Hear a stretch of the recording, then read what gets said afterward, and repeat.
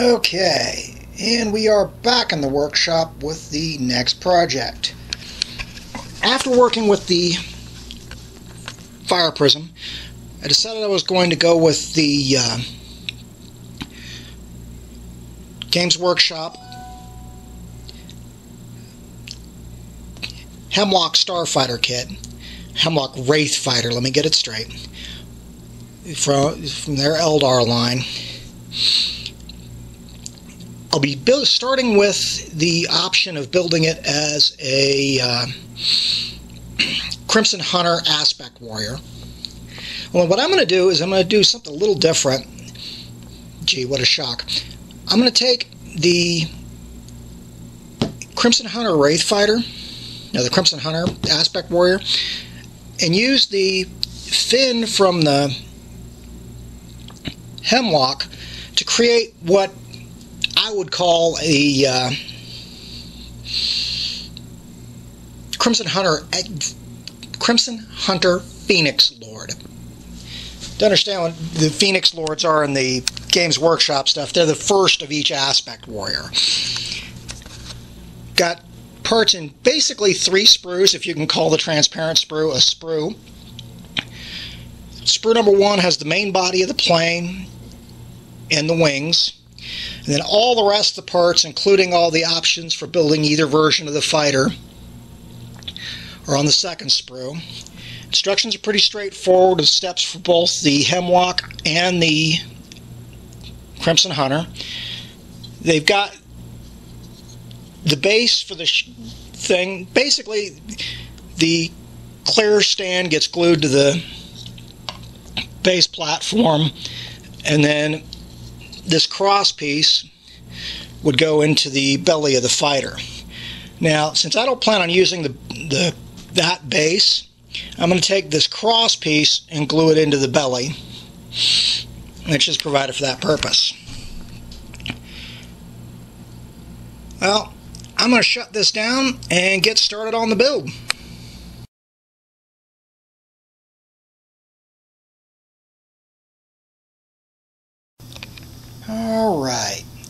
Much like the uh, fire prism that I was working on previously, this little guy is going together pretty quick. Got the filler in, and based off feel, most of that seam's gone. Main engines are in, as are the intakes and the center weapon mount. The power core has been assembled and the seam is only minimal so I'm not too worried about it since that's actually the top and the sides won't be all that visible inside the construction. I have also got primer on the parts of the pilot and the cockpit and we'll deal with that when we hit it.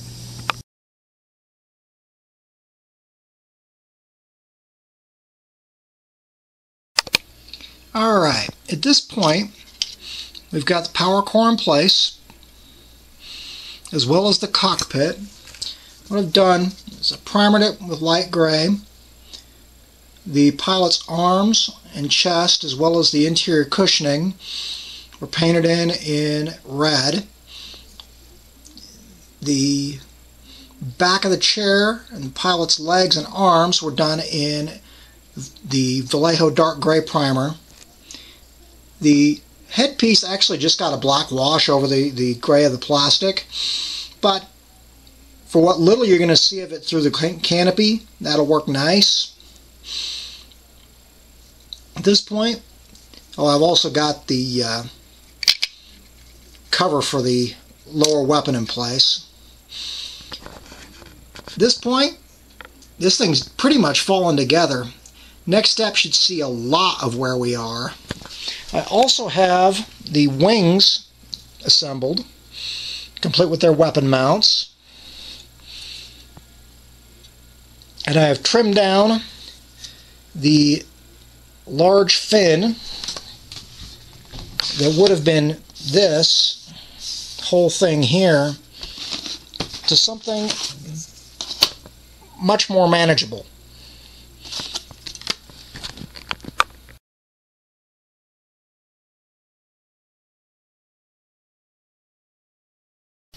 Alright, what I said before about this being a very quick build is definitely proving out. At this point, construction is done.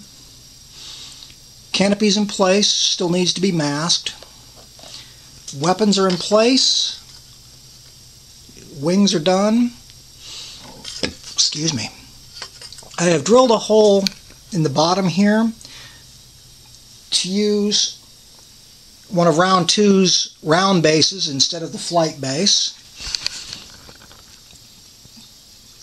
At this point, we are ready for the beginnings of paint.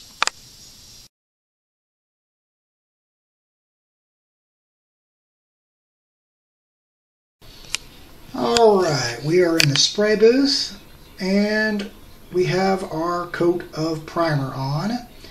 It's still drying, which is why it's shiny in spots. But what we've got there is a nice coat of flat black primer. After masking the canopy off, of course.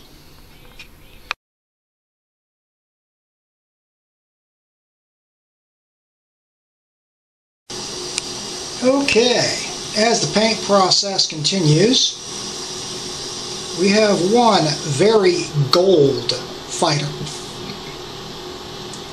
now, for the traditional Crimson Hunter, the underbelly would be white normally. But with this being a the Phoenix Lord, or the first one, I figured, no, we'll go with the gold. Still have to put a different color coat on the top, but we'll show that one when we get there.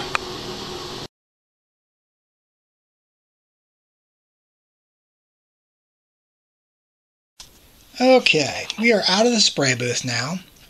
As you can see, I've got the lovely gold underside, followed up by the candy red top side over the gold. At this point, we got detail painting that needs doing, and that's it.